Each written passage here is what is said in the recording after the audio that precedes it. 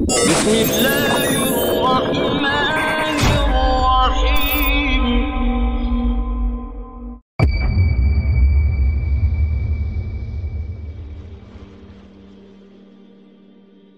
J'aimerais commencer par dédier cette conférence à toutes les personnes qui font preuve de courage et de persévérance dans le cheminement de leur ascension spirituelle.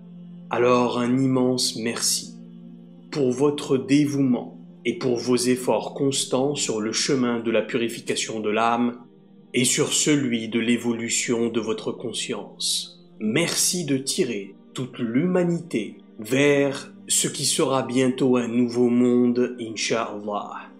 Aujourd'hui, j'aimerais vous parler, Inch'Allah, d'une prophétie très importante de notre noble messager Muhammad sallallahu ta'ala alayhi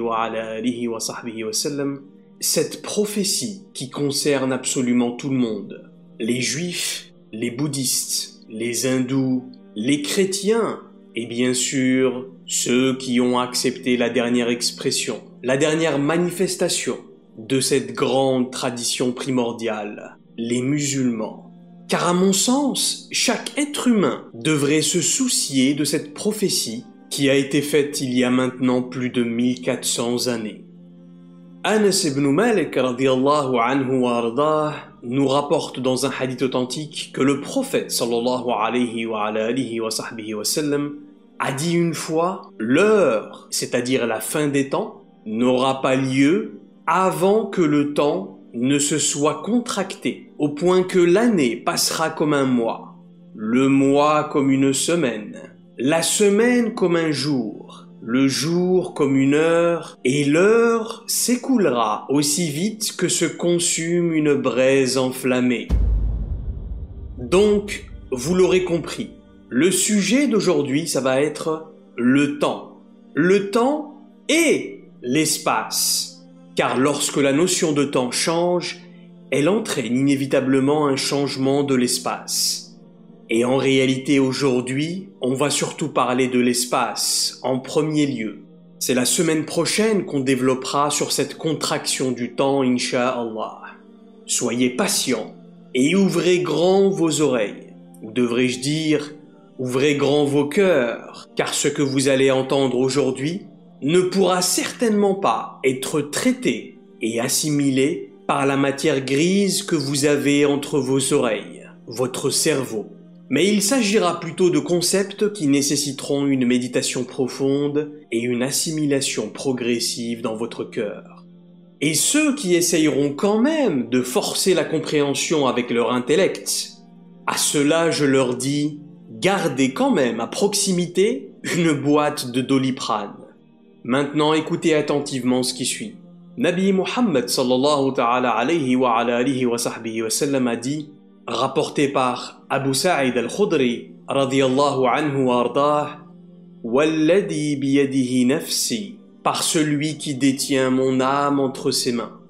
La taqumu sa'a l'heure ne viendra pas hatta tukallimu siba'u al-insan jusqu'à ce que les lions ne parlent avec les humains.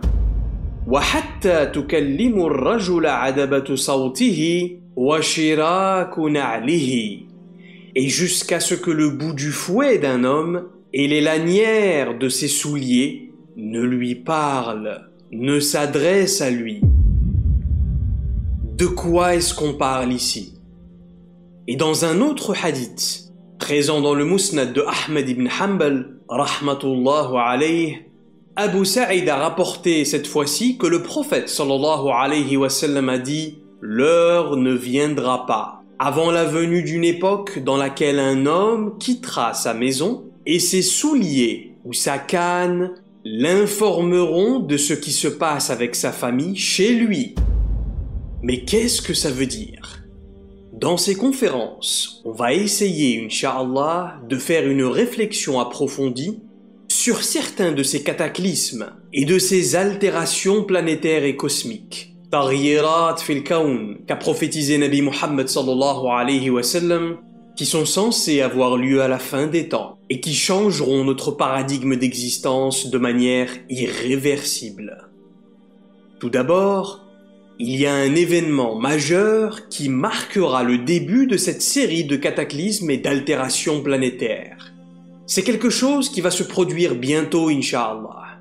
On ne sait pas quand exactement, mais ce qui semble certain aujourd'hui à l'heure où je vous parle, c'est que nous en sommes très proches. Ça ne se produira certainement pas dans 50 ans. Et cet événement sera en réalité la collision ou l'unification des deux univers parallèles. L'univers de la matière, Sama'ud-Dunya, le monde matériel, la dimension dans laquelle nous existons et nous percevons, avec l'univers invisible, le Malakut, la dimension dans laquelle vivent les djinns, les afarit, les shayatin et les anges. D'abord, on va commencer par définir un peu ce que sont ces créatures.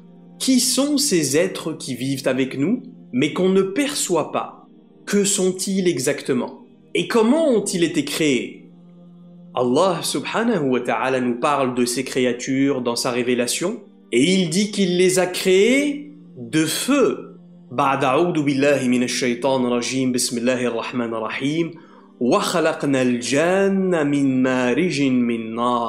Il créa les djinns d'un feu sans fumée, c'est-à-dire qu'il les créa de la source éthérique de l'élément feu. Il ne les a pas créés du feu matériel qu'on utilise ici sur Terre.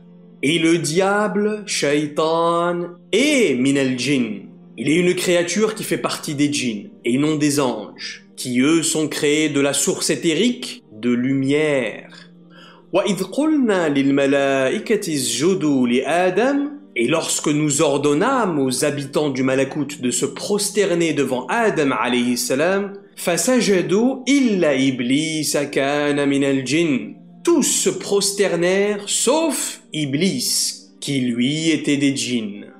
Donc, Iblis est des djinns, mais il est actuellement certainement le plus puissant des djinns, celui qui a la plus haute autorité chez eux. Et quand Allah subhanahu wa ta'ala les a créés, il les a créés comme nous, de la même géométrie sacrée. Ils ont des parents, ils ont des frères et sœurs, ils vivent en communauté, ils ont des tribus, ils ont leur société, ils ont leur galaxie, etc., etc. Les djinns vont à l'école, tout comme nous ils apprennent, ils se forment. Ce ne sont pas simplement, comme on les imagine souvent, des clowns qui errent dans l'univers pour s'approcher des êtres humains et faire beau, pour nous faire peur simplement. Non, ils ont une véritable conscience, ils ont une âme, ils ont un intellect. Les djinns sont dotés du libre arbitre comme les êtres humains. Ils réfléchissent, ils ont des choix à faire. Et ils développent leur intellect. Ils ont des scientifiques. Ils ont leurs philosophes. Et tout comme chez nous, il y a aussi chez eux de bonnes personnes. De la même manière qu'il y a de mauvaises personnes. Et ils ont leurs forces armées. Et ils ont leur police. Et ils ont leurs autorités, etc., etc. Absolument tout ce que nous avons dans notre société matérielle ici, ils ont chez eux au moins l'équivalent si ce n'est bien plus. Il y a même certaines riwayettes qui rapportent que notre système bibliothécaire viendrait de chez eux. Absolument, la bibliothèque. On a appris de chez les djinns à fixer toutes ces pages les unes sur les autres pour former des livres et ensuite les superposer les uns sur les autres dans ces étagères pour rassembler notre savoir. C'est un concept qu'on a appris à travers les prophètes salam à l'époque de Daoud salam, le roi David, et de son fils Suleiman salam, le roi des deux mondes, souvenez-vous. Donc, où sont ces créatures invisibles exactement? Comment vivent-ils parmi nous et avec nous? Ces créatures sont en fait présentes absolument partout. Dans toutes les maisons, dans tous les lieux que vous pouvez imaginer sur Terre et dans l'air, il y a des djinns, c'est exact. Et comme on avait dit brièvement dans la toute première conférence sur le West-West, il y a beaucoup de races différentes parmi les djinns. Les shayatin, les afarit, al-abalisa, le peuple d'Iblis et sa descendance, Dokhan, les créatures de fumée, Ahmar, les créatures de feu et de lave, Vous en avez certains qui vivent dans l'eau, d'autres dans l'air, dans les nuages, dans les maisons ou même dans les mosquées parfois, etc., etc. En réalité, ils vont être affectés et attirés par votre taux vibratoire. Vous attirez par résonance les énergies qui ont la même vibration que vous. Et les djinns sont des êtres d'énergie. Par exemple, si vous faites quotidiennement vos cinq prières, vous allez alors attirer des djinns qui croient en Dieu et qui l'adorent. Mais si en revanche il n'y a pas dans votre foyer la lumière du Coran qui est récitée régulièrement, et qu'il y a toutes sortes de musiques, toutes sortes de conflits, de disputes, de péchés, etc., etc., vous allez donc attirer des djinns maléfiques. Des djinns qui ont un taux vibratoire extrêmement bas, parce qu'ils vont résonner avec votre énergie, et avec l'énergie qui est cultivée dans votre foyer. Vous attirez en fait ce qui est comme vous sur le plan vibratoire. Dans l'histoire de notre humanité, ce qu'il s'est passé, c'est qu'à l'époque de Nabi Sulaiman, salam, les créatures du monde de l'invisible vivaient à cette époque-là sur le même plan d'existence et de perception que les êtres humains. Le voile, le hijab, entre le monde de l'invisible et le monde matériel était ouvert à cette époque, par la permission d'Allah wa. Et d'une certaine manière, Allah avait donné à Nabi Sulaiman salam la faculté et le pouvoir de dominer le monde invisible. Il avait l'autorité sur les créatures du monde invisible. Et dans cette configuration-là, sous l'autorité de Sulaiman salam, les êtres humains et les êtres du monde de l'invisible vivaient dans une certaine harmonie. Mais cela ne va pas durer très longtemps. Et le roi Sulaiman salam guidé par son Seigneur, finira par obtenir un accord entre les entités du monde de l'invisible et notre monde matériel. À cette époque, les créatures du monde de l'invisible avaient signé avec les êtres humains un traité, un contrat si vous voulez. Et cet accord stipulait que les djinns ne devaient plus interférer avec les humains dans notre monde. Et il stipulait aussi que les êtres humains ne devraient plus interférer avec les djinns dans leur monde. Et pourtant, aujourd'hui, vous avez des djinns qui attaquent des humains, et vous avez des humains qui interfèrent encore avec les djinns. Et la plupart du temps, comme vous pouvez le constater, ce sont eux qui ont le dessus sur nous. Nous sommes faibles, parce que la lumière de notre foi est faible.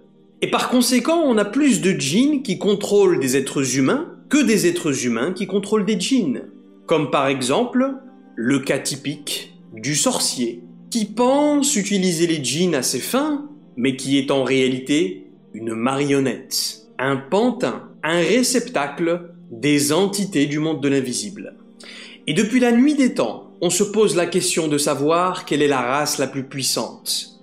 Eux ou nous? Sur le papier, ils savent qu'ils sont capables de nous manipuler. Ils savent pertinemment qu'à travers le simple pouvoir du West-West, ils sont capables de nous faire faire énormément de choses. Vous n'avez qu'à regarder ce qui se passe dans le monde. Mensonges, médisance, corruption, et à une autre échelle, on a la sorcellerie, les vols, les viols, les homicides, les suicides, etc., etc. Mais en réalité, nous sommes bien supérieurs aux djinns. Allah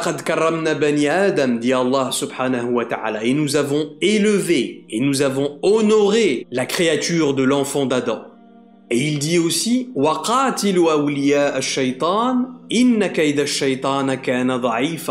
Combattez fermement les alliés du shaitan, car certes, cette alliance est extrêmement faible, dit le Créateur lui-même subhanahu wa ta'ala. Allah nous a créés d'une façon qu'il n'a jamais créé d'autres créatures avant nous. Nous sommes Adam alayhi salam, qui, je le rappelle, est la créature devant laquelle se sont prosternés les anges et tous les habitants du Malakout, y compris les djinns. Constatez par vous-même, ils sont de feu, mais ils ne peuvent pas nous brûler. Allah nous a conçus d'une façon que leur énergie ne nous affecte pas. En fait, c'est plutôt nous qui les affectons avec notre énergie en réalité. Ils n'ont absolument aucun pouvoir sur nous si ce n'est Al-Waswas, rappelez-vous. Donc, Sachant cela, ils s'investissent corps et âme dans le travail du West-West. Ils sont constamment en train d'essayer de nous tromper par leur West-West. Autrement, ils ne peuvent pas nous contrôler directement. Ils ne peuvent pas nous contrôler physiquement, par exemple. Sauf effectivement dans certains cas particuliers. Quand la personne s'est tellement affaiblie qu'elle leur donne absolument tous les moyens de le faire. C'est-à-dire par acceptation, par capitulation par adhésion à leurs idées. Un exemple tout simple, et il n'y a aucun mal à parler de ce sujet, car Inna Allah min Allah n'a pas de pudeur vis-à-vis de la vérité, a dit le prophète sallallahu alayhi wa sallam d'après Khuzayma ibn Thabit radiyallahu anhu. Quand un jeune homme est débordé par ses pulsions charnelles après la puberté, par exemple, eh bien vous savez qu'il va avoir tendance à pratiquer la masturbation. Très souvent, à ce moment-là, les djinns vont exploiter cette faille vibratoire pour pénétrer dans son corps. Et à partir de là, ils vont posséder une partie de la conscience de ce garçon. Et automatiquement, quelques jours ou quelques heures plus tard, ils vont appuyer sur le même bouton. Et le gamin va de nouveau recommencer à se masturber. Ou par exemple, quelqu'un qui regarde un film d'horreur. Il ou elle va tomber sur une scène horrible et boum, il va être choqué émotionnellement. Son cœur va palpiter très fort à ce moment-là, et ils vont commencer à exploiter cette faille vibratoire pour entrer en lui. Parce que c'est lors de pics émotionnels que les sources de vos corps subtils s'ouvrent et s'exposent au monde invisible. Et c'est pour cela que Nabi Muhammad sallallahu alayhi wa sallam nous a enseigné d'allumer la lumière immédiatement quand on entre chez nous pour être sûr de bien voir et ne pas prendre peur dans l'obscurité.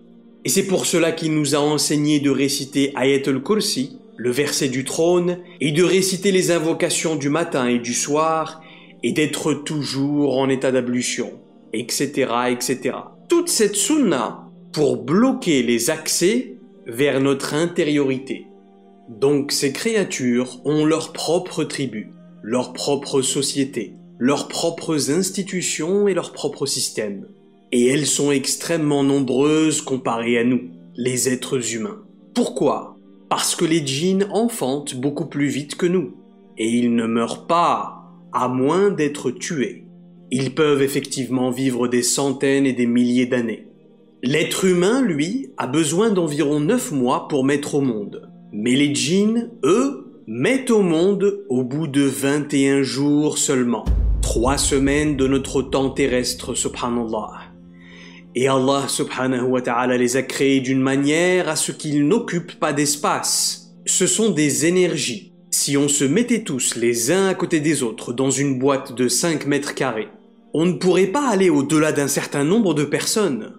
Si je peux mettre 10 êtres humains dans cette boîte de 5 mètres carrés par exemple, eh bien avec les djinns ce n'est pas limité.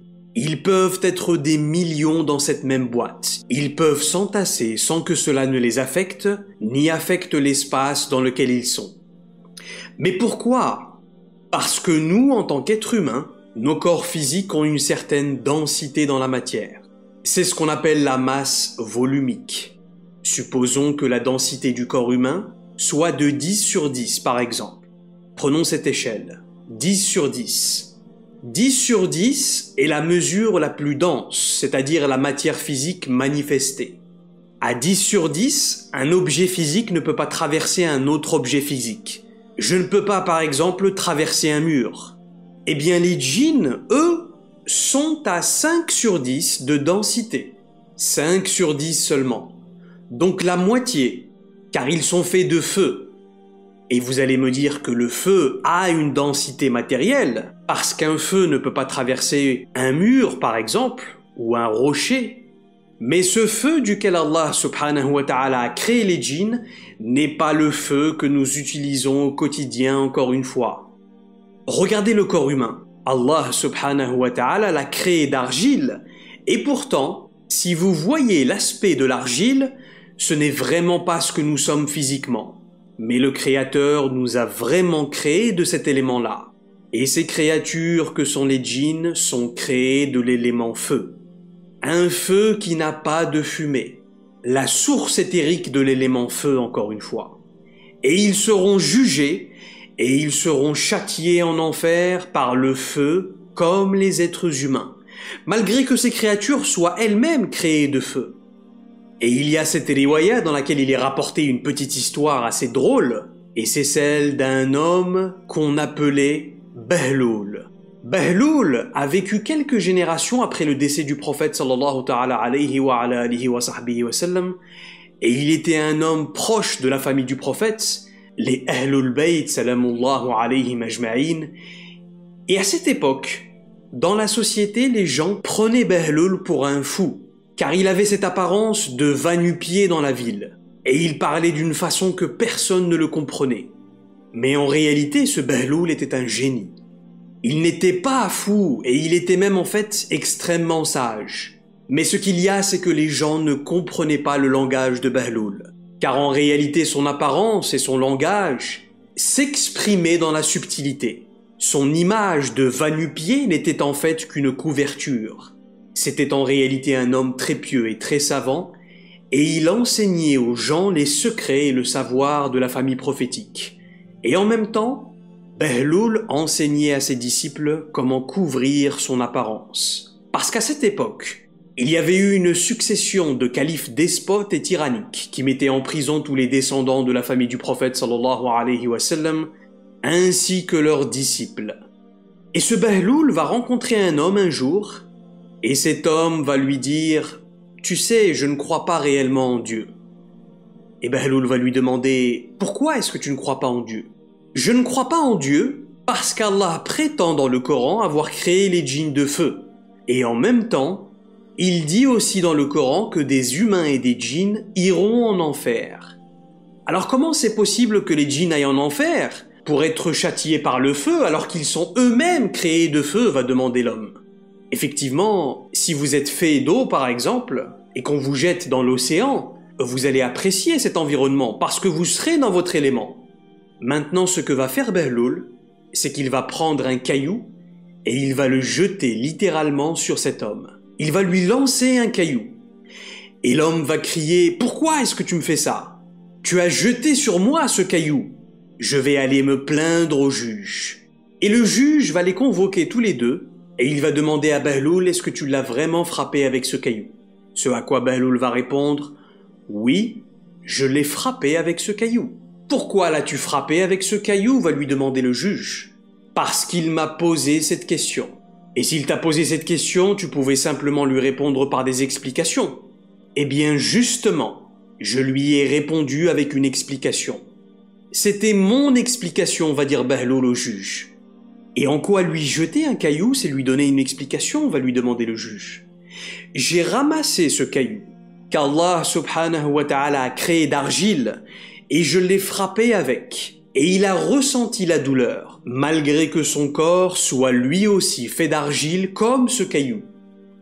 Et de cette façon, je lui ai démontré que le feu de l'enfer sera aussi douloureux pour les djinns qui eux aussi sont créés de feu. Donc, les djinns ont une densité corporelle de 5 sur 10. Leurs corps sont extrêmement fins comparés aux nôtres. Les anges, eux, ont une densité corporelle, écoutez bien, encore plus fine, avec un rapport de 1 sur 10. Les anges ont 1 sur 10. Les djinns sont à 5 sur 10. Et les êtres humains ont une densité corporelle de 10 sur 10. Est-ce que vous comprenez maintenant la différence de densité corporelle qu'il y a entre eux et nous? Et c'est la raison pour laquelle on ne les perçoit pas, malgré qu'ils soient parfois dans notre univers matériel. Maintenant, si un être humain développe sa spiritualité, sa lumière va l'élever. Vous savez que nous sommes créés des cinq éléments. L'eau, la terre, le feu, l'air, et le cinquième élément, c'est la lumière. La science a prouvé il y a quelques décennies à peine que oui, effectivement, nous sommes des êtres de lumière. Chaque cellule présente dans notre corps est à elle toute seule une station électrique indépendante qui produit de la lumière. Donc, si une personne développe énormément sa spiritualité, cette lumière va se développer et sa densité corporelle va en même temps diminuer jusqu'au point où il ou elle va commencer à voir ces créatures. il sera capable de les ressentir d'abord, puis de voir directement les djinns, sans qu'ils ne l'affectent. Ils ne pourront pas lui faire de mal à ce moment-là, parce que sa vibration sera trop élevée pour eux. Et ça vous est peut-être déjà arrivé vous-même. Par exemple, quand vous êtes parfois en train de réfléchir profondément, vous êtes un peu déconnecté et d'un seul coup, vous voyez comme quelque chose qui va passer très rapidement dans votre champ de vision périphérique. Et quand vous levez les yeux, vous ne voyez rien. Eh bien, en réalité, très souvent, c'est simplement une entité qui est passée par là. Ne perdez pas votre temps à essayer de les percevoir. Ce n'est qu'une forme de west-west pour eux. Ils vont simplement chercher à distraire votre attention. Ils sont très malins dans leur façon de jouer avec vos méninges. Mais souvenez-vous, ils ne peuvent pas vous blesser littéralement. Ils ne peuvent absolument rien vous faire. Parce que lorsqu'on a signé avec eux le traité de salam, le deal, c'était qu'on ne les voit plus dans notre perception d'existence, mais que les djinns, eux, puissent continuer à nous voir. Mais le contrat stipulait qu'ils ne puissent jamais nous faire du mal. Ça, c'est en ce qui les concerne. En ce qui les concerne eux. Mais ce qu'on a oublié, c'est qu'il y a aussi des droits et des devoirs qui nous concernent dans ce contrat. Il y a effectivement des conditions à respecter pour ne pas avoir de problème avec eux. Entre autres, maintenir nos cinq prières, réciter nos invocations, la lecture régulière du Coran, cultiver la bonne conduite et la bonne morale, etc., etc. Par exemple, quand une femme et un homme veulent avoir un rapport sexuel, cela doit être signalé au tribunal céleste par le mariage. Si le mariage est prononcé, alors leur union physique sera protégée. Ils seront enveloppés d'un voile de lumière et les djinns n'auront aucun accès et aucune perception de leur corps pendant l'acte. Maintenant, s'il n'y a pas de mariage, si le rapport physique a lieu hors mariage, alors c'est de la fornication. Et dans ce cas-là, écoutez bien, les djinns ne seront pas tenus de respecter le traité de Suleyman alayhi salam. Et ils vont donc partager le rapport sexuel avec ces fornicateurs et ils vont les posséder pour jouir de l'expérience avec eux. Et ils vont utiliser l'énergie négative engendrée par cet acte pour s'alimenter eux-mêmes. Et comme vous le savez, cela va avoir comme effet sur les deux humains l'intoxication, l'empoisonnement et la destruction de la lumière de leur âme. Sachez que même dans un couple marié, il y a des règles. Entre autres, avant le rapport, ils doivent d'abord prononcer la basmala. Et normalement, on doit dire Bismillah, Allahumma jnabna shaitan, wajnabi shaitan mimma razaqtana. Oh Allah, éloigne de nous le diable et éloigne-le de ce que tu nous as accordé. Cette invocation doit être prononcée juste avant de commencer le rapport, de façon à être protégé du monde de l'invisible par un voile. Ils ne peuvent même plus voir ce qui se passe entre l'homme et son épouse à ce moment-là. Ce couple devient complètement invisible pour le monde de l'invisible, jusqu'à ce qu'ils aient fini leur acte, et ensuite les voiles disparaissent. C'est ça, l'islam. C'est ce code de vie qui nous permet de vivre en parfaite harmonie avec la nature et avec le reste de la création d'Allah, de manière à faire les choses dans le respect de chacun, de n'offenser personne, visible ou invisible. Et pourtant, on se cache des créatures visibles qui pourraient nous voir. Alors pourquoi on ne devrait pas se cacher des créatures invisibles? Et d'un autre côté, de manière à ne pas corrompre les âmes de ces créatures aussi, ne pas être une source de tentation pour eux aussi. Et oui, est-ce qu'un djinn peut tomber amoureux d'un être humain? Absolument.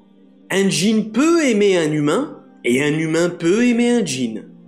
Je sais, c'est choquant, et certaines personnes vont peut-être commencer à penser que je fanatise un peu ce sujet aujourd'hui avec toutes ces informations, mais c'est la réalité. Balqis, rahmatullahu alayha, la reine de Saba, au temps du prophète Suleyman alayhi. Cette reine était issue d'un mariage entre un humain et un djinn. Et oui, Balqis était métisse, mi-djinn, mi-humaine. Et ça va peut-être choquer certains d'entre vous, mais de nos jours, billah, il y a encore des gens qui sont mariés avec des djinns. Un homme marié avec une djinn, ou une femme mariée avec un djinn. Et c'est la réalité. Ils arrivent à séduire les êtres humains, même jusque-là, à travers le West-West. Et bien sûr, il est inutile de vous rappeler que ceci est complètement interdit dans la législation divine. Mais le grand problème avec un homme marié avec une djinn, ou une femme mariée avec un djinn, eh bien c'est que cette personne ne pourra jamais se marier avec un être humain. Parce qu'ils sont extrêmement jaloux. Soit la djinn va lui faire du west-west à lui-même, jusqu'à le rendre fou, soit elle va rendre folle la personne avec qui il essaye de se marier. Illa man rahim Allah, sauf s'il y a un miracle d'Allah. Donc, il existe réellement des gens qui ont corrompu leur âme jusqu'au point de se marier avec un djinn. Absolument. Et ils peuvent concevoir avec eux des enfants. Subhanallah. Bien sûr dans l'invisible, pas dans le monde physique. Car le corps du djinn et le corps de l'être humain ne sont pas assujettis aux mêmes lois physiques même si cela était encore possible jusqu'au temps du roi alayhi salam. Après qu'ils aient signé avec lui ce traité, cela a pris fin à ce moment-là. Le monde manifesté dans lequel nous vivons et le monde invisible se sont complètement séparés. À notre époque, il n'est plus possible de concevoir des enfants mi-humains, mi-djinns. Un peu plus tard, quand le prophète Mohammed sallallahu alayhi wa est venu dans ce monde, Allah lui a donné la permission d'interdire aux djinns l'accès au quatrième univers. Parce qu'avant, ils avaient accès aux univers supérieurs, et ils avaient l'habitude de monter pour écouter ce que disaient les anges, pour ensuite rapporter ces informations à Iblis. Mais bien évidemment, Iblis est très fort, et il trouve toujours de nouveaux moyens. Ce n'est pas pour rien qu'Allah a choisi Iblis pour jouer le rôle du diable. Souvenez-vous qu'il est l'autre créature, à part Muhammad sallallahu alayhi wa alihi wa wa sallam, à avoir reçu ulum al-awwalin wal-akhirin, les sciences et les connaissances et les sagesses pré-éternelles et post-éternelles.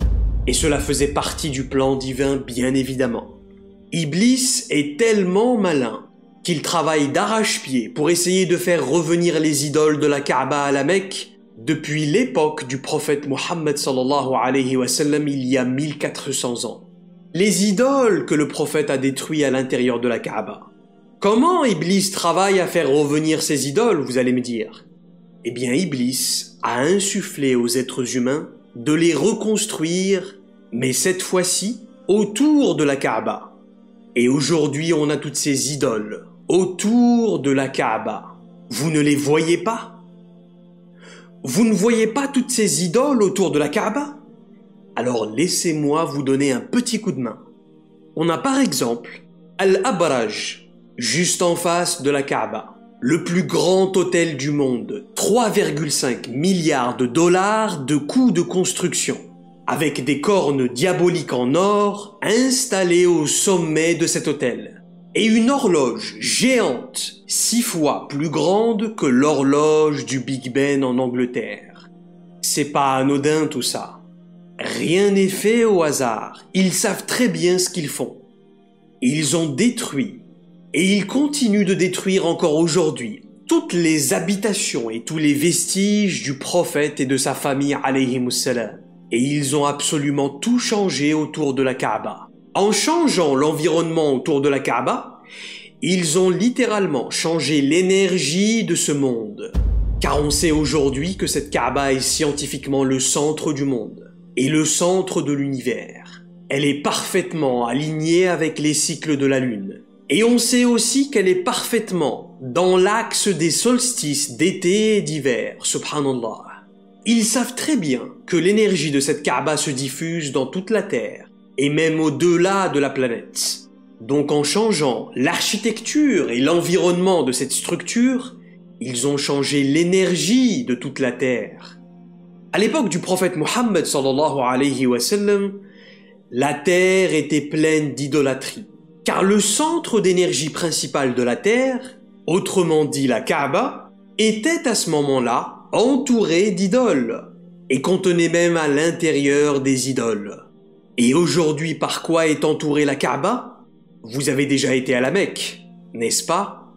KFC, McDonald's, Burger King, hein? Et on a aussi le fameux Mecca Mall, les shopping centers, dans lesquels on trouve toutes ces boutiques de marques et de commerce. Et quel genre d'énergie s'est maintenant propagé sur toute la Terre? Notre monde ne baigne-t-il pas aujourd'hui dans une course constante à la consommation et une aliénation généralisée de la superficialité et du développement purement matériel De nos jours, il n'y a absolument plus rien qui choque. Il est maintenant tout à fait normal de voir des gens mourir de faim dans le monde, par exemple. C'est quelque chose qui est devenu banal. C'est quelque chose dont on est devenu naturellement insensible. Il est maintenant tout à fait normal qu'on enseigne à nos enfants de 4 ans qu'à cet âge-là, ils peuvent effectivement choisir leur propre sexe, par exemple. Et il est tout à fait normal de nos jours de voir des cadavres d'enfants tués par des bombardements aériens au Yémen ou à Gaza par exemple. Et on prend la télécommande et on zappe sur autre chose. Parce que c'est devenu banal en fait. Parce que l'énergie a changé sur notre planète. Notre écosystème a complètement changé. Et plus Shaitan inspirera les gens à construire des bâtiments autour de la Kaaba, plus l'énergie deviendra mauvaise. Et plus la corruption et l'injustice se répandront sur terre donc, durant l'époque de Balqis, la reine de Saba, rahmatullahu alayha, qui je le rappelle était mi-humaine, mi-djinn, Nabi Sulaiman alayhi salam et les djinns avaient signé ce fameux traité. Et à partir de là, plus personne d'entre les djinns n'avait le droit d'interférer dans le monde des êtres humains. Mais la question qu'on se pose aujourd'hui, c'est jusqu'à quand le traité de Sulaiman a forcément un temps déterminé? La temporalité d'un accord est toujours fixée. Écoutez attentivement. Le traité du roi Suleiman ne sera plus valable quand la terre tout entière sera touchée par le fasad. Vous vous rappelez de ce que veut dire ce mot El-Fasad. El-Fasad constitue une forme de corruption dont la nature est destructrice par essence. À ce moment-là, ce traité ne sera plus valide. Et Allah subhanahu wa ta'ala permettra à ces voiles qu'il y a entre nous et les djinns de s'ouvrir. Et ils seront de nouveau visibles dans notre monde. Souvenez-vous, cela se produira lorsque le façade sera répandu sur toute la terre. Et on y est déjà, subhanallah. Qu'est-ce qu'il reste? Maintenant, Comment est-ce que le traité de Suleiman va s'annuler concrètement? Rappelez-vous de ce qu'on a dit à plusieurs reprises déjà. Avant l'apparition de l'homme sur Terre, il y avait d'autres peuples, d'autres créatures, visibles et invisibles, matérielles et immatérielles. L'imam Ali a dit une fois, avant notre Adam, il y eut mille Adam, souvenez-vous. Donc, avant nous, il y a eu d'autres peuples sur Terre. Il y a eu des créatures non humaines, mais il y a eu aussi des êtres humains qui avaient d'autres formes. Aujourd'hui, les archéologues retrouvent chaque année des squelettes d'humains géants par exemple. Et ensuite, quand ces peuples eurent atteint un niveau de corruption très élevé, ils ont commencé à se faire la guerre entre eux. Et ils faisaient la guerre avec d'autres créatures aussi, entre autres avec les djinns jusqu'à ce qu'Allah Azzawajal prit la décision d'envoyer sur terre ses armées célestes d'anges pour les détruire et pour effacer totalement leur existence de la surface de la terre. Et la même chose est en train de se passer avec nous. Et ça se terminera aussi, Inch'Allah, par une intervention céleste. De nos jours, le niveau d'effusion de sang, comme vous le voyez, a déjà atteint son paroxysme. Tous les jours, des innocents sont massacrés dans le monde. La corruption s'est répandue partout et à toutes les échelles de la société. Sur terre, en mer, partout où vous allez, vous voyez la corruption de l'être humain, subhanallah. Et en même temps, les énergies impures se répandent sur la terre. Vous allez dans n'importe quelle librairie de nos jours, vous pouvez trouver des livres sur la magie noire et les acheter par exemple. Même dans les pays musulmans, subhanallah. Ajib N'importe qui peut entrer dans une librairie de nos jours et acheter des livres qui enseignent comment faire de la sorcellerie. Et vous ouvrez ces livres et vous trouvez des recettes de sortilèges et des rituels d'incantation.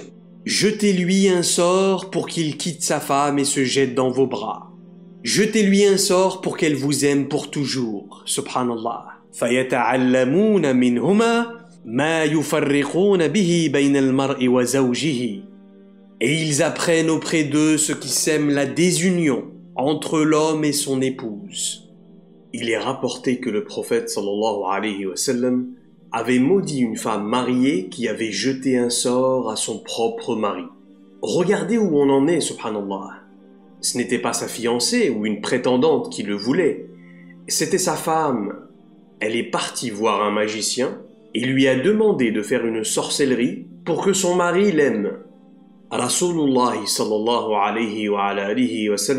lui a dit à ce moment-là, tu es maudite par Allah et tu n'entreras pas au paradis. Quand on y pense, on se dit mais c'est impossible pour quelqu'un de sensé de faire ça. Et pourtant, c'est hyper répandu. Au Maroc, par exemple, ou au Pakistan, vous trouvez un magicien tous les mètres carrés, subhanallah. Et ces gens-là se trouvent des prétextes pour justifier leur immense nécessité de faire appel à la magie noire. Mais il m'a trompé. Mais elle m'a fait de la magie. Je vais pas me défendre le monde de l'invisible leur insufflera toujours de quoi rationaliser ce qu'ils ont fait. Mais en réalité, Allah maudit ceux qui touchent à ça. Il y a même une histoire vraie de ce jeune qui va dire à son cher Effectivement, je lui ai fait de la sorcellerie. Mais mon intention était bonne. Je voulais qu'elle tombe amoureuse de moi parce que j'avais vraiment l'intention de l'épouser et de prendre soin d'elle.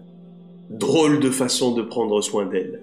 En réalité, c'est totalement haram. Peu importe ce qu'on fait avec, peu importe l'intention qu'on a, la fin ne justifie jamais les moyens. Le simple fait de toucher consciemment à cette pratique, eh bien c'est suffisant pour que votre nom soit inscrit parmi les maudits dans le monde du malakout. Le simple fait de lire ces livres est haram, parce que vous allez commencer à ouvrir des portes que vous ne pourrez plus fermer. Des portes qui potentiellement vont détruire votre vie et détruire la vie des gens autour de vous. Vous ouvrez la porte sur une dimension sur laquelle vous n'avez aucun contrôle en réalité. Et si Allah n'a pas pitié de vous et qu'il ne vous protège pas, vous allez inviter des shayatines à venir s'installer chez vous et à venir s'installer en vous. Et ils vont s'installer confortablement dans votre corps et ils vont se développer et ils vont procréer à l'intérieur de vous. Et vous aurez une belle colonie de djinns qui partagera avec vous le quotidien si vous touchez à la sorcellerie. Tu es maudite par Allah et tu n'entreras pas au paradis, lui a répondu le prophète. Et regardez ce qu'elle va répondre. Elle va lui dire, mais c'était une bonne chose, car maintenant il m'aime autant que je l'aime. Et le messager d'Allah sallallahu alayhi wa wa sallam va lui dire Tu aurais très bien pu faire en sorte qu'il t'aime par la manière dont tu le traites. Vous avez entendu? Par la manière dont tu le traites. Pas avec la sorcellerie. Avec la façon dont tu te comportes avec lui. On est des êtres humains et on est sensible. On a des sentiments. On est traversé par des émotions. Donc, par la façon dont tu lui parles, par la façon dont tu le regardes, par la façon dont tu l'écoutes, dont tu te présentes à lui, jamais à travers la magie noire, subhanallah. Et vice versa. Vous avez aussi aujourd'hui des hommes qui tombent fous amoureux d'une femme, et quand ce n'est pas réciproque, certains vont aller solliciter des magiciens pour qu'elle tombe amoureuse elle aussi. C'est une pratique qui s'est répandue. Vous avez même sur Internet, ou pire encore sur des chaînes de satellites arabes, des espèces de marabouts qui se prétendent chers et qui vont vous vendre la formule qu'ils sont en contact avec des khoddam. Ah, les khoddam. Des djinns musulmans, soi-disant. Et ce cher prétendra pouvoir leur ordonner de vous apporter la richesse, de vous apporter l'amour de la personne de votre choix. Toutes ces pratiques sont formellement et strictement interdites. Et les gens qui touchent de près ou de loin à ça sont maudits par Allah subhanahu wa ta'ala. وأنه كان رجال من الإنس يعودون برجال من الجن dit Allah subhanahu wa ta'ala dans Surat al-Jinn et il y avait chez les êtres humains des hommes qui cherchaient de l'aide auprès des djinns. فزادهم رهقا mais cela ne fit qu'accroître leur détresse. Autrement dit, cela ne fit qu'empirer leurs problèmes, cela ne fit qu'empirer leur situation. En somme, c'est une pratique extrêmement mauvaise que d'interférer dans leurs affaires ou de les invoquer pour qu'ils interfèrent dans nos affaires. On ne doit jamais faire ça. Et les conséquences sont très graves, car on va au-delà de la limite de ce qu'Allah subhanahu wa ta'ala a instauré. Et ce sujet de la magie noire est un grand test pour l'humanité. Allah a créé ce savoir et il nous l'a dévoilé effectivement à travers les deux anges que sont Harut et Marut, sur lesquels on reviendra, inshallah. Mais en même temps, Allah nous a interdit d'y toucher et de l'utiliser. Et aujourd'hui, des tonnes et des tonnes de gens tombent là-dedans. Pas seulement les ignorants et les faibles d'esprit, mais aussi et surtout les personnalités de l'élite de nos sociétés modernes. Absolument toutes les élites, de toutes les industries, ont au moins un pied dans la magie noire, que ce soit dans l'industrie de la musique, que ce soit la classe politique, que ce soit dans l'industrie du tabac et de l'alcool, même dans l'industrie pharmaceutique et même l'industrie agroalimentaire, subhanallah. Vous n'imaginez même pas ce que certains ont fait pour arriver à leur fin. Ils ont vendu leur âme au sens littéral. Parce que même dans ce monde matériel, il y a une hiérarchie spirituelle.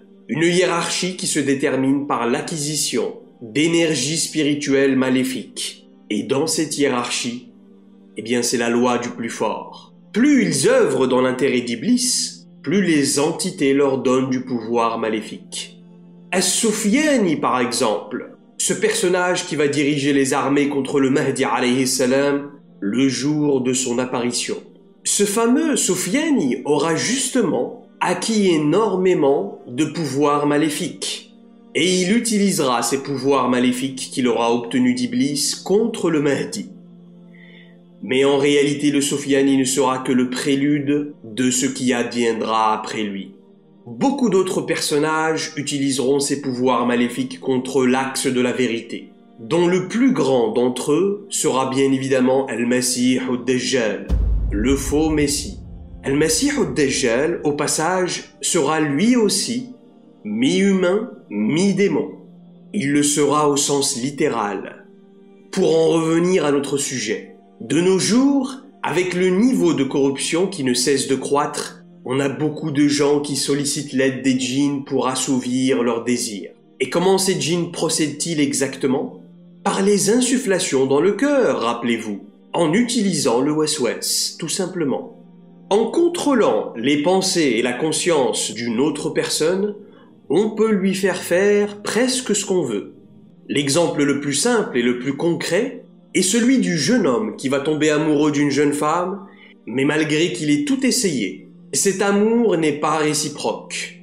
Mais au lieu de passer à autre chose, non, l'ego de ce jeune homme ne va pas l'accepter. Comment ose-t-elle ne pas m'aimer en retour, alors que je suis complètement amoureux d'elle Et après tout ce que j'ai fait pour elle Et le jeune homme va glisser, et il va aller voir un magicien qui est en contact avec des djinns. Et il va le payer pour faire en sorte que son projet se concrétise. Ils appellent ça des travaux occultes. En réalité, ce que le magicien va faire, c'est qu'il va demander au djinn avec qui il travaille d'aller agir sur cette jeune femme. Et qu'est-ce qu'ils vont faire exactement? Est-ce qu'ils peuvent la contrôler? Non. Mais ils savent que nous, les êtres humains, on développe de l'amour par le rappel. Plus on se rappelle de quelqu'un ou de quelque chose, plus cette idée va prendre de la place dans notre cœur. Par exemple, qu'est-ce qui vous a fait aimer votre voiture avant de l'acheter? Ou votre maison? Vous êtes parti une première fois chez un concessionnaire vous avez essayé cette voiture et après ça, vous n'avez pas arrêté de repenser à cette voiture. Vous avez peut-être fait des recherches dessus. Vous avez lu des commentaires, vous avez vu des tests, etc., etc. À chaque fois, vous nourrissiez un peu plus cet amour jusqu'au jour où cet amour a débordé et vous avez pris la décision d'aller l'acheter. Allah subhanahu wa ta'ala nous a créés comme ça. Plus on se rappelle de quelque chose, plus on va l'aimer. C'est la même chose avec la foi. Vous répétez vos cinq prières par jour, vous répétez en fait votre expression d'amour au Créateur divin et votre détachement de ce bas monde pour ancrer dans votre cœur de plus en plus cette foi et cet amour pour lui. Alors, ce que vont faire les djinns, c'est qu'ils vont se mettre autour de cette jeune femme et à chaque fois qu'elle aura un moment de solitude, un moment de tranquillité, ils vont lui rappeler ce jeune homme. Oh, il est vraiment gentil. Oh, il m'a apporté un bouquet de fleurs. Oh, il m'a fait tel et tel compliment. En plus, c'est sûr que mes parents l'aimeraient. Vous connaissez la musique. Ils vont lui marteler la tête avec le jeune homme et le jeune homme et le jeune homme. Toutes les cinq minutes, ils vont lui rappeler ce jeune homme. Jusqu'à ce qu'un faux sentiment d'amour naisse dans le cœur de cette jeune femme. Un sentiment illusoire qui n'est pas naturel. Et effectivement, elle finira par accepter de l'épouser. Mais ce qui va se passer, c'est que cinq années et deux enfants plus tard, la jeune femme prend le chemin de la purification de l'âme. Elle se met à faire ses cinq prières quotidiennes et elle se rapproche d'Allah jusqu'au moment où l'effet de la sorcellerie va être brisé par la lumière de sa foi. Et à ce moment-là, elle va prendre conscience que l'homme qu'elle a épousé n'est pas en réalité l'homme avec qui elle veut passer le restant de sa vie. Et c'est le divorce. Et c'est de cette façon qu'Iblis détruit la société. En commençant par détruire leur mariage, l'institution divine la plus fondamentale chez l'être humain. Le mariage entre l'homme et la femme est essentiel au plan éternel. Ces deux enfants issus de ce divorce sont les plus grandes victimes de cette histoire. La mère pense maintenant que leur père est un lâche et leur père pense qu'elle est une vipère. Et les enfants vont grandir chez leur mère et ils vont absorber toute sa haine et ils vont absorber toute la rancune de leur père. Pour au final, tout simplement, reproduire les mêmes erreurs qu'ont commis leurs parents, et ainsi de suite. C'est un cycle sans fin. C'est la réalité de notre époque. Aujourd'hui, même quand tout est bien fait depuis le départ, même si l'homme et la femme sont les meilleures personnes avec un excellent comportement, il y aura quand même et toujours des disputes et des moments difficiles. C'est la réalité du mariage. C'est pour cela que le mariage constitue la moitié de la patience du croyant. Et à notre époque, cela se fera de plus en plus fréquent, à cause des créatures de l'invisible qui approchent de notre univers. Et cela fait partie du plan divin encore une fois. Vous vous rappelez de ce que faisait l'imam Ali au temps du prophète sallallahu alayhi wa sallam? Rappelez-vous ce que Rasulullah a dit à sa fille Fatima Zahra, Ridwanullah wa salamuhu alayha. Ya Fatima, c'est moi qui l'envoie combattre ces créatures si ce n'était pas Ali qui les repoussait, ces créatures démoniaques se déverseraient sur notre monde et le détruiraient. Le prophète sallallahu alayhi wa sallam avait dit ça il y a 1400 années. Aujourd'hui, ces créatures se rapprochent de plus en plus de nous, à travers différents trous de verre. Et maintenant, à notre époque, leurs énergies affectent directement notre planète. Leurs énergies oppressantes affectent directement nos cœurs et nos consciences. Le jour où ils auront pleinement accès à notre monde, ce sera catastrophique. Et c'est la raison pour laquelle Awliya Allah implore Allah jour et nuit de nous envoyer Al-Mahdi alayhi salam. Car ils le sentent. Ils sentent que leurs énergies maléfiques se rapprochent de la terre. Awliya Allah savent que lorsqu'il y aura trop de fitna sur cette terre, ces créatures retrouveront l'accès à notre monde. Et par conséquent, ils font de leur mieux pour repousser cette échéance à travers leurs invocations et à travers leurs prières nocturnes. Mais au final, ça va quand même se produire. C'est inévitable. Ils ne sont même pas encore là. Et la réalité des couples est déjà catastrophique aujourd'hui. Un mariage sur deux finit en divorce à notre époque. Ce sont les statistiques officielles. Et ce sont les chiffres des dernières années. Mais qu'est-ce qu'il en est aujourd'hui? En 2021, Après l'arrivée du Covid, c'est encore pire. Je suis sollicité personnellement chaque semaine pour des problèmes de couple, subhanallah. Et de plus en plus, alors que je ne suis même pas conseiller conjugal, ni même dans le domaine, et ce sont souvent les mêmes questions qui se répètent avec différentes personnes, avec différentes situations. Entre un mari et sa femme, entre une femme et son mari, entre des parents et leurs enfants, entre une fille qui veut se marier et ses parents qui la bloquent. Subhanallah. Et des problèmes de cannabis, et des problèmes d'extasie, et des problèmes de fornication, et des problèmes d'extrémisme religieux. Toutes sortes de problèmes et de fitna dans les familles aujourd'hui, subhanallah. Et ça, c'est à cause de ces créatures démoniaques qui se rapprochent de plus en plus de notre univers. Alors comment est-ce que le traité de alayhi salam va disparaître? Eh bien, plus la corruption va augmenter sur Terre, plus les hujub, ces voiles métaphysiques qui séparent la Terre du monde de l'invisible, vont s'affaiblir jusqu'au moment où se produira un inévitable clash de ces deux dimensions. Il y a en physique un concept qui est celui de la singularité. Le point de singularité de la création, par exemple, c'est ce moment où Allah subhanahu wa ta'ala a créé absolument tout d'un seul point gravitationnel. Un seul point autour duquel tout va se développer de façon exponentielle. En technologie, par exemple, on parle d'un certain point de singularité qui devrait apparaître dans quelques années, Inch'Allah. Les scientifiques sont d'accord pour dire que ce sera le moment à partir duquel l'humanité va connaître une croissance technologique d'un ordre supérieur. Aujourd'hui, on sait que ce sera grâce à l'intelligence artificielle. Et ils disent que lorsque les intelligences artificielles dépasseront les capacités du cerveau humain, elles pourront à ce moment-là concevoir elles-mêmes des intelligences artificielles, d'un niveau supérieur encore, à un niveau que les cerveaux humains n'auront même pas le temps d'appréhender. Et par conséquent, ce point de singularité technologique, dans un futur proche, devrait se produire lorsque l'intelligence artificielle atteindra ou dépassera le niveau d'intelligence des cerveaux humains. Et il y a eu énormément de livres qui ont été écrits à ce sujet. Et il y a eu des reportages. Et il y a eu des films, bien sûr. Quand la dimension artificielle, créée par la main de l'homme, entrera en collision avec la dimension naturelle de l'être humain et de ce monde. Nous vivrons alors un point de singularité vers une nouvelle ère. Et on va utiliser le même concept pour développer notre sujet aujourd'hui. Voyez-vous, le monde des êtres humains et celui des djinns sont en train d'entrer en collision de nos jours. Il y a un rapprochement qui se fait de manière exponentielle. Et encore une fois, je ne parle pas de science-fiction ici. Je ne parle pas au sens figuré. Je parle au sens littéral. C'est une réalité et on est déjà dedans. Qu'est-ce qu'il va se passer exactement? Ce qu'il y a, c'est qu'aujourd'hui, il y a trop de gens qui utilisent la sorcellerie dans le monde.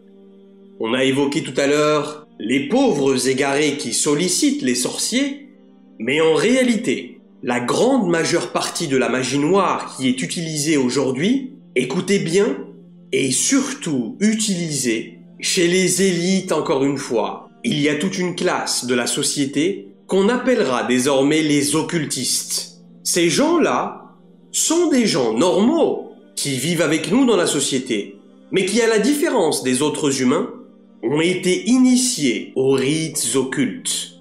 Et donc ils savent très bien utiliser la magie noire pour obtenir des autres ce qu'ils désirent. Ils sont chef d'entreprise, banquier, directeur de chaîne TV, directeur de campagne, publicité, PDG des maisons de disques, dans l'industrie de la musique, mais ils sont aussi dans la classe politique, députés, ministres, hauts gradés militaires, etc., etc. Et ces gens-là vont à leur tour initier leurs enfants, qui vont à leur tour initier les leurs, et ainsi de suite. Donc, il y a de plus en plus de forces maléfiques sur Terre, et de moins en moins de foyers dans lesquels le Coran est récité. Il n'y a plus de tahara aujourd'hui, la pureté intérieure et extérieure. nous vivons littéralement le plus haut degré de décadence actuelle. Dans la plupart des foyers aujourd'hui, vous le savez tous, les gens écoutent de la musique toute la journée, dans leur chambre, dans la voiture, en faisant du sport, et ils consomment de la pornographie, et ils pratiquent la fornication à foison, les mensonges dans la famille, la corruption, les clashs et les disputes dans les maisons tous les jours. Eh bien tout cela affecte l'environnement dans lequel chacun vit. Et nous constituons à une plus grande échelle des blocs, chacun d'entre nous. À l'échelle individuelle d'abord, puis à l'échelle familiale, puis à l'échelle de la société, et enfin dans le monde tout entier.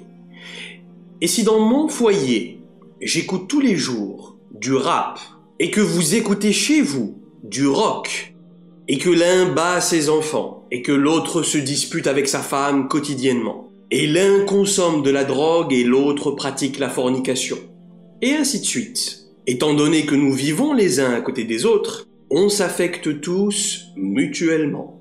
En somme, si vous voyez de mauvaises choses chez votre voisin, observez d'abord les énergies qui circulent chez vous.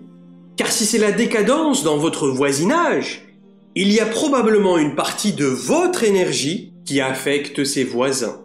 Est-ce que je suis suffisamment responsable de l'énergie que j'apporte dans mon foyer? Et est-ce que je suis suffisamment responsable et conscient de l'énergie que j'apporte dans mon voisinage? Et c'est de cette façon que l'énergie de cette planète n'a été que trop affectée jusqu'ici. Et le résultat est inévitable maintenant. Ces deux mondes vont entrer en collision, tôt ou tard. La fréquence vibratoire planétaire s'accélère de façon exponentielle maintenant, permettant aux consciences de percevoir d'autres échelles dimensionnelles. J'ai eu ces derniers temps énormément de gens qui sont venus me solliciter car ils avaient des visions éveillées du monde de l'invisible.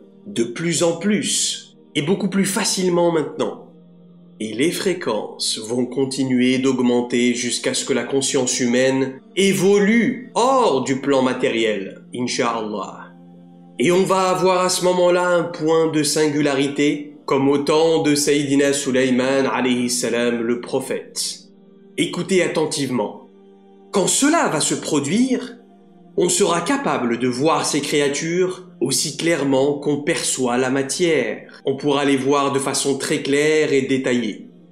C'est quelque chose qui devrait se produire très bientôt, Inch'Allah. Awliya Allah disent qu'au début, ça se fera par des apparitions spontanées. Al-Sheikh Muhammad Nazim Adil al-Haqqani alayh en a beaucoup parlé dans ses conférences. Il disait qu'au début, il s'agira d'apparitions isolées, des ouvertures interdimensionnelles, et les gens témoigneront petit à petit de ces manifestations métaphysiques. Puis ensuite, il dit que cela deviendra une normalité, que les gens s'habitueront à voir ces créatures à tel point qu'on ne sera même plus choqué à ce moment-là, comme au temps de Suleyman salam. Et oui, c'est choquant, je le conçois, mais nous devons comprendre que l'ère de l'âge d'or, c'est-à-dire l'ère de l'apparition de l'imam al-Mahdi l'ère du retour de notre noble prophète, Isa ibn Maryam, Jésus, fils de Marie, alayhi ne se fera que dans cette configuration-là. Parce qu'il n'est plus suffisant de recoller les morceaux du vase à ce stade. Parfois, il faut que le vase se brise pour qu'on puisse reconstruire un nouveau vase, pour que puisse se bâtir un nouveau monde. Les partisans du progrès ont souvent coutume de dire que l'âge d'or n'est pas dans le passé, mais qu'il est dans l'avenir. Mais en réalité, écoutez bien, comme le dit René Guénon, rahmatullahu alayh, que la paix et la miséricorde d'Allah soient sur lui, le véritable âge d'or n'est autre que l'état primordial lui-même.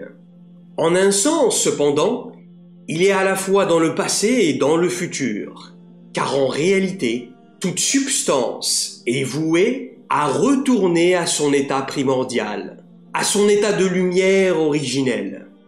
Et dans sa correspondance avec Gaston Georgel, René Guénon lui-même dit que l'état du monde actuel n'ira pas au-delà de l'année 2030.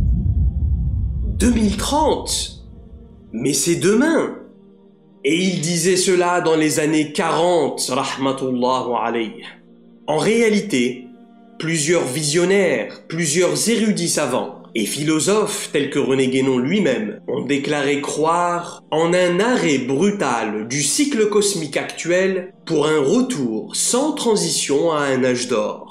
Ils décrivent tous une dissolution de l'ère actuelle par un cataclysme soudain qui ferait basculer l'humanité, matérialiste et matérialisée aussi, vers une ère complètement différente. Un nouveau monde régi par de nouvelles lois physiques et quantiques. Et il semblerait bien, et cela est d'ailleurs confirmé par toutes les doctrines traditionnelles, que nous soyons déjà entrés dans cette période sombre de la fin des temps, période de laquelle il ne soit plus possible de sortir que par un cataclysme. Car à ce niveau-là, ce n'est plus une simple réforme qui est nécessaire, mais c'est un redressement total. Maintenant écoutez attentivement. La solution pour minimiser les dégâts à ce moment-là, c'est premièrement de se prendre en main dès maintenant sur le plan spirituel. Ce que vous sèmerez dans les mois et les années à venir sur le plan spirituel, c'est ce qui vous sauvera à ce moment-là. Quand on parle de cette ère, c'est quelque chose qui paraît être loin. Mais wallahi, c'est tout près de nous en réalité. Dans quelques années seulement, on vivra littéralement dans un autre paradigme d'existence et de perception. Maintenant, il faut comprendre aussi que autant ces créatures seront extrêmement choquantes et effrayantes, autant les pouvoirs de l'intention et les pouvoirs de la basmala seront rendus extrêmement puissants à ce moment-là. Dans ce nouveau paradigme, il vous suffira par exemple de dire Bismillah rahman rahim pour repousser et faire complètement disparaître une attaque. Bien sûr, si spirituellement vous êtes un être lumineux, vous êtes aligné, mais il faut commencer à travailler dès maintenant pour en arriver là. Et il faut être régulier dans sa pratique, purifier cette âme, prendre de la distance avec cet ego et arrêter de s'identifier aux futilités de ce bas monde. La deuxième solution consistera en l'observation de Dohor el-Mahdi salam bien évidemment. L'avènement de l'imam el-Mahdi sera le véritable dénouement de cette période. Car encore une fois, il sera chargé de combattre ces créatures. Il incarnera la manifestation de la vengeance divine et il accomplira la justice finale sur terre, Inch'Allah. Le Mahdi alayhi salam viendra rétablir l'équilibre entre ces deux mondes, le monde physique et le monde de l'invisible et Allah le fortifiera et affermira sa puissance par la présence de Isa ibn Maryam, Jésus fils de Marie. Et le Créateur finira par instaurer à ce moment-là une ère d'harmonie interespèce qui durera jusqu'à la fin des temps. Bismillahirrahmanirrahim. Wal asri inna l'insana lafi khusr. Illa alladhina amanu wa amilu salihat. Wa tawasaw bil haqq وتواصوا بالصبر